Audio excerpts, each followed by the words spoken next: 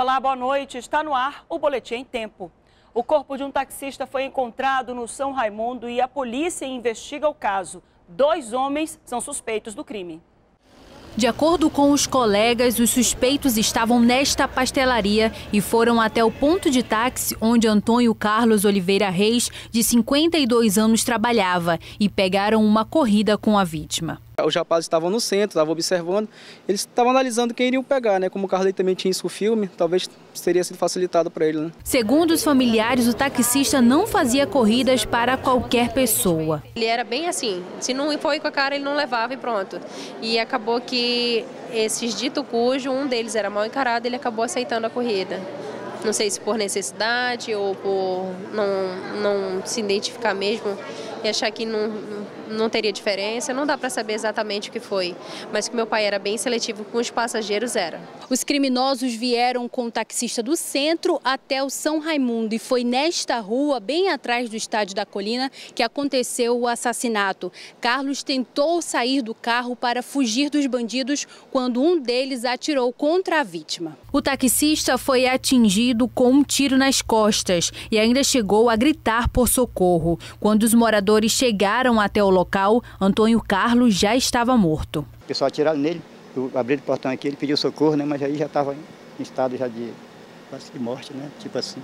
Aí ele sentou, deitou, depois levantou de novo e deitou, deu dois suspiros depois disso, os criminosos fugiram no táxi da vítima e abandonaram o carro na Compensa Zona Oeste e não levaram nenhum pertence do taxista. Na hora da perícia, nós verificamos que não foi levado nem, nem a, a carteira nem o celular, que realmente estava tocando muito o celular dele ainda. Eu creio que seja a família dele estivesse ligando para ele para saber de notícias, né? Mas até a princípio pelo que eu soube, não levaram nada. Os familiares esperam as investigações para saber qual foi o real motivo do assassinato. O que pode aparentar se foi um assalto ou não é saber se o meu pai tinha uma, uma quantidade de dinheiro que pode, possa ter chamado a atenção dos ladrões ou, ou foi intencionalmente mesmo, foi feito de pré-encomendado, algo assim, não dá para saber. Uma perícia vai ser feita no carro da vítima. O crime vai ser investigado pela Polícia Civil. Ontem foi o último dia para que os pretensos candidatos aos cargos de governador e vice nas eleições suplementares formassem chapas e fizessem coligações. Eles têm até segunda-feira para fazer os registros das oito candidaturas. A disputa pelo governo do Amazonas ficou assim. O ex-governador e ex-prefeito Amazonino Mendes é candidato pelo PDT e Bosco Saraiva, do PSDB, é o vice na coligação com nome a ser definido. Pelo PMDB, o candidato é o senador Eduardo Braga, com Marcelo Ramos, do PR, como vice. Pela coligação, Unidos para tirar o Amazonas da UTI. José Ricardo, do PT, é candidato ao governo, tendo Sinésio Campos, do mesmo partido, como vice, pela coligação Compromisso com o Amazonas. A jornalista Liliane Araújo e o policial militar Cabo Lobo foram os indicados para concorrer ao governo pelo PPS, com a coligação Mudança com Segurança. A Rede Sustentabilidade confirmou Luiz Castro como candidato ao governo e João Vitor Taiá, do PSOL, como vice, pela coligação começo de uma grande mudança. Com a coligação por um novo Amazonas, o PSB anunciou Marcelo Serafim como candidato ao governo, com Cirlan Coen, do PMN, como vice. Rebeca Garcia foi anunciada como candidata ao governo pelo PP. O deputado estadual Abdala Frache, do PTN, concorre como vice na coligação com o nome a ser definido. O vereador Wilker Barreto é candidato pelo PHS e tem como vice a também vereadora professora Jaqueline, do mesmo partido, pela coligação por um novo Amazonas. Ontem ainda, durante as convenções, o terceiro lugar da eleição passada, o deputado federal Silas Câmara, desistiu de disputar o governo do estado.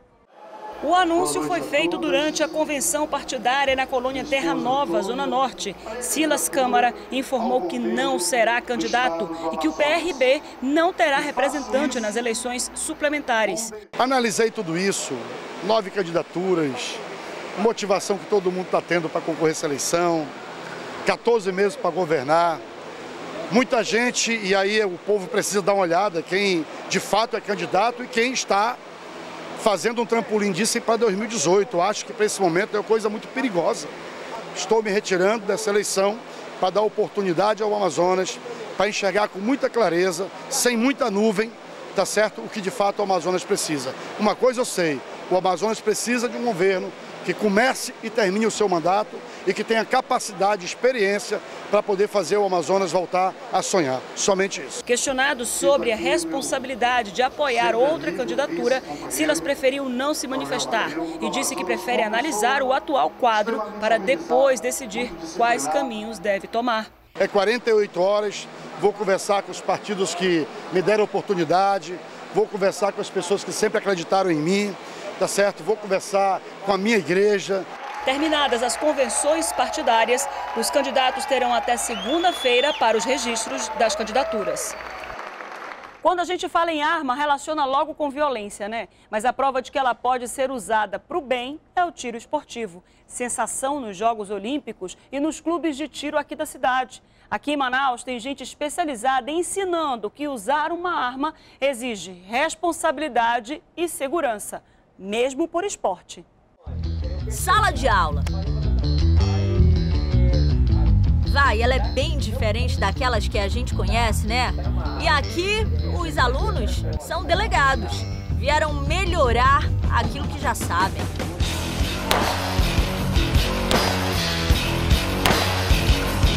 E os professores e instrutores profissionais de tiro, atiradores de elite, policiais da Força Especial. E a gente vai já entender o porquê. Rodrigo Peixoto. Bora, deita no chão, bora. E João Paulo. Dão aulas de tiro no Clube Amazonense de Tiro Esportivo para profissionais e para quem é curioso que nem eu, que nunca pegou em uma arma. João me deu algumas instruções rápidas, me passou as técnicas de segurança e lá fui tentar. Um tiro.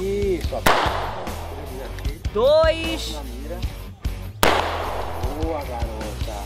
Três. gatilho, vai puxando. Boa, garota. Tá pensando que é fácil? É? No alvo! Fui bem pra quem nunca fez aula. Diz aí, surpreendi até o instrutor, minha gente. E a gente fala o quê? Os tiros têm que caber dentro de um punho fechado, tá? Os disparos. Com exceção desse aqui, que era o teu tiro mais pesado, mas os outros, ó, dentro de um punho fechado. Mas olha, não é fácil e a responsabilidade é grande. Para chegar aqui e atirar é preciso passar pela teoria, ser preparado. Muitos pensam que utilizar um armamento é só pegar, apontar para onde quer e apertar o gatilho. Mas não, existe toda por trás do tiro, existe toda uma norma de segurança, né, uns procedimentos de segurança que a gente segue, a gente passa para os alunos e todos os fundamentos de tiro.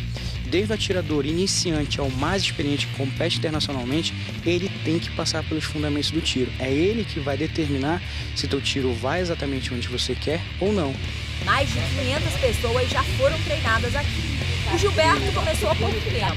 Eu sempre tive a intenção de ter uma arma de fogo em casa, mas para eu ter uma arma de fogo eu teria que ter o conhecimento necessário que ela exige, né?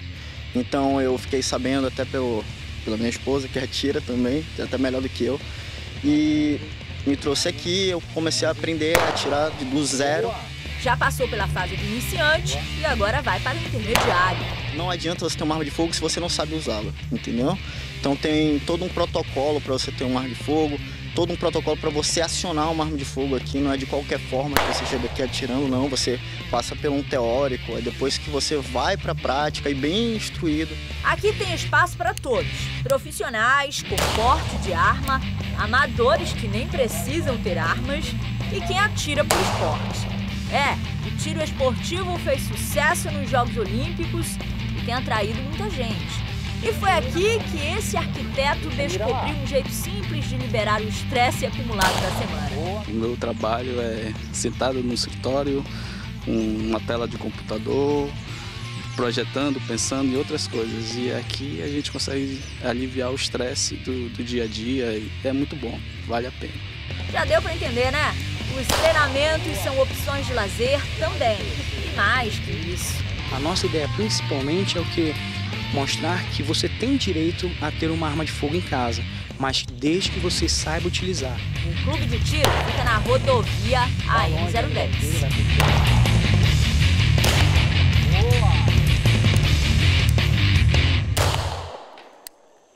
Eu sou Marcela Asmar e este foi o Boletim em Tempo.